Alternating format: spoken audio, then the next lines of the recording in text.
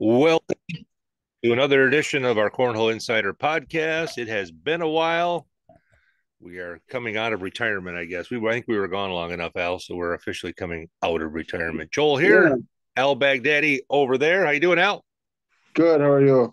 Good. We've been seeing a lot of each other playing bags, but not on the podcast. And you mentioned to me a couple days ago that we need to get on here and start talking about the RestorU Classic, which is coming up pretty fast here. We got another big year. The this is the third year for it.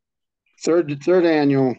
Third annual, June 9th and 10th in Park Falls, Wisconsin. And we just want to let people know right away before they duck out of this podcast that the money is pretty nice here, Al. We got some big incentives for people that come to northern Wisconsin. Yeah, it's it uh thousand dollars for first place in doubles. Um, last year we paid out forty seven hundred dollars between Friday night switchfolio and doubles and singles on Saturdays. So, and so there's money to be had. Yeah, and we're able to do that because uh, we got a lot of great local sponsors and also able to raise money for uh, for some local charities, right? Yep, we're going to raise some money for the Park Falls Youth Wrestling or I should say Chequamegon Youth Wrestling, um, the Lord's Cupboard Food Pantry, and we'll send a little bit to the Children's Miracle Network, like always. All right. So if you're coming to the RestorU Classic, uh, bring a non-perishable food item, or if you want to make a little donation to the food pantry, we'll have a special, I think, raffle set aside just for uh, people who do that. Right? Yeah, I, I was thinking we'll set up a table and anybody that brings something to donate, or or if they just want to make a cash donation or something to the food pantry, we'll give them a entry fee into a raffle for a set of bags or something. All right. So for those who haven't been to this, again, thousand for first doubles, five hundred for singles. Um, we're going to kick it off Friday, June 9th. It's at the Big Rec Arena here in Park Falls. And uh, we always advertise free shuttle service available to the local hotel if you've had a few too many beverages. A couple people might be eh, I don't know if they're on that naughty list of being on the shuttle. Nobody's been kicked out of the shuttle, but there's a couple that are pretty close, I think. Andrew Cox is driving the shuttle bus this year. oh boy, we want people to come. Could be a joyride. Uh, so June 9th, Friday, June 9th, we're gonna do a switch holio, right? Tell let's talk about that if people want to come a day early Friday night. Yeah, Friday, Friday night, uh, I believe doors will be open by five, five thirty bags fly at 6.30 last year we had 58 people i think in the switch folio on friday night. Um, we were done around 11 o'clock so you know it, it, probably about the same this year. Probably maybe a few more people hopefully but all right so switch holio friday night. oh i didn't show up i'm sure i'm sure we'll split that into an upper and lower division. All right Forgot to show off my badger sticky. I'm sure I don't know if it's backwards or not, frontwards. So Friday night, switch Holio if you want to come Friday night. Um, we've got some uh, good hotel rates here at the uh, Flambeau Lanes and Northern Lights Motel. If you want to stay there on Friday night, there's all kinds of campgrounds around the area. Some people like to do that also. So switch Holio on Friday night, and then we'll do singles and doubles in one day on Saturday, right? Yeah. I just want to mention that if you're planning on staying overnight, that the Northern Lights Inn and the lanes are a sponsor of the tournament. So I like to steer people in their direction. And they have boards set up there too. So after we clear out of the arena, if you want to go to the banquet hall and throw some more bags at the uh, banquet hall, there's like four sets of boards set up there too. All right. So let's talk about Saturday. What's going to happen on Saturday, June 10th here in Park Falls? Saturday, June 10th will be, we'll start out with doubles at 10 o'clock in the morning. Um, do not necessarily pool play, but probably a rounders to divide it into, if we get enough, if we get over that 35 to 40, you know, more teams than that, we'll probably split into three different divisions after the rounders. Okay. All right it's kind of a little uncharted territory this year because the first two years, uh, well, last year especially, we had I think pretty much all the pros, uh, ACL, ACO pros from Wisconsin, pretty much here.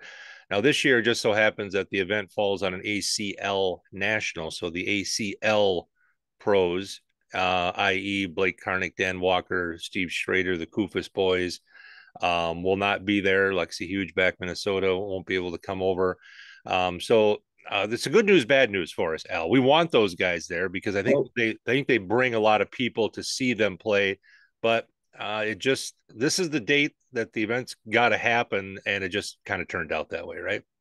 Yeah, that it's we didn't want to keep moving our date around to to work around somebody else's schedule because they're going to change their date every year. So, so one thing we know for sure is that we're going to have a different champion this year than the past two years.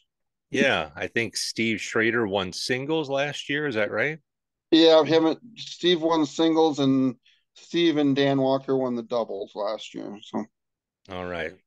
And uh, some early favorites already signed up. ACO pros Bob Heil and uh, Bush. Mr. Wayne Rao is signed up.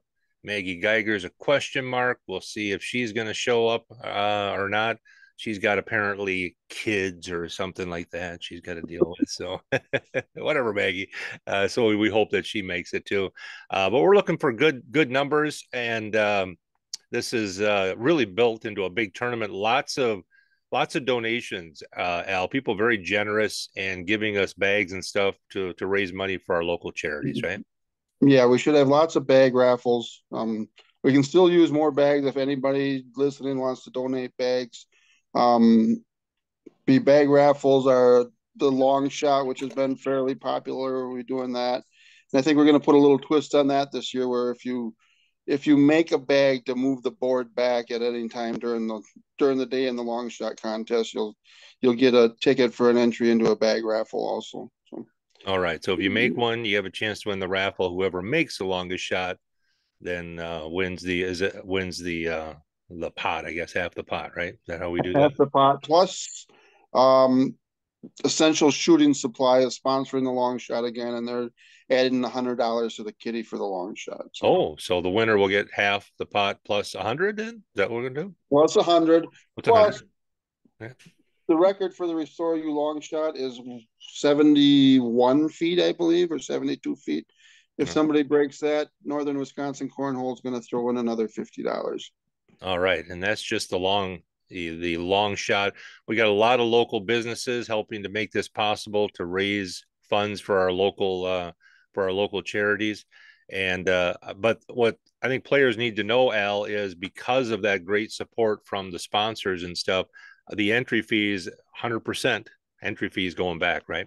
One hundred percent of the entry fee is paid. It's always been hundred percent or hundred percent plus. You know that we're we're going to be paying back more than what's paid in an entry fees. Yeah, and if people check out the events page on Facebook on the Northern Wisconsin Cornhole Facebook page, you'll see it says first for a thousand bucks for doubles, five hundred for second, two fifty third, hundred for fourth, and then on the single side, um, like you mentioned, the five hundred for first, and some of that might adjust due to numbers, but it hasn't been a problem in the past, and things are certainly uh, trending toward a pretty good number of players here, Al.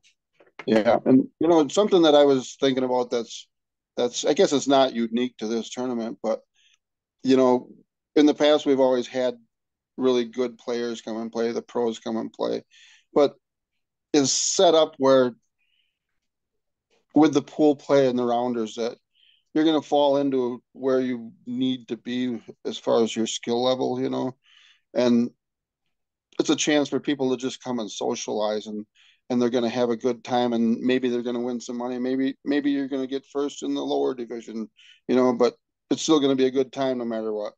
And we'll offer them the opportunity where if they didn't make that upper and they want to come up uh, they have that option right?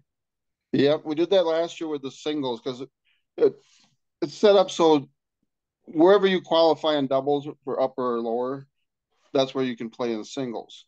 So but if you don't qualify for the upper you can still move up into the upper division. So, and a lot of people did that last. I, I mean, probably seventy five percent of the people last year opted to play up into the upper division. So, it's kind of cool. Yeah, and what's nice about the rec arena, they've got pretty cheap beer, uh, great food, burgers, and uh, I think brats and dogs. They've got the full concession stand, and it's not overpriced like uh, like an open or a worlds for either ACO or ACL. Some 18 bucks for chicken strips in Kansas a few weeks ago. Come on, people. Yeah, uh, so no, 18 bucks will get you enough beer that'll probably uh, put you in the back seat of Al's car, taking you to the hotel. but we want to thank the rec arena. They let us use the the facility there and uh, the concession stand, uh, uh, like we said, has uh, really affordable pricing. Hotel Northern Lights Inn, so so book it there. Check out the events page on yeah. Facebook. All the information is right there. Yeah, I want to mention uh, RestorU too. Is every from the very first year that we did this, as soon as I asked Henry at RestorU, he never hesitates to say, "Yep, we'll sponsor again." You know, he's he's always been always backing us up. So it's yep. always good and a lot of other local businesses that are listed on that Facebook events page uh, that are helping out court sponsors. And uh, we want to thank uh, Kyle Ralph at Record Boards. He gave us some boards last year. That'll they'll probably be featured again on the uh, center court if I can pry those away from Blake. Um, and uh, but he'll be back from college. So we want to thank uh, him for providing those Northern Wisconsin boards also for for the big event.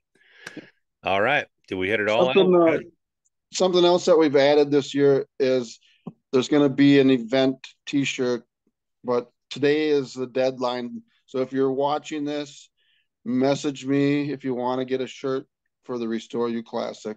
The order's going to the screen printer tomorrow, so today is the last day to order. All right, so get that to Al. Picture of the actual T-shirt is on the Northern Wisconsin Cornhole Facebook page. All right, it's sneaking up pretty fast here. I think what four, three weeks from Saturday or four. I don't know what it is. June 9th. June 9th. Today's and, May 10th, and it's not so one month from today.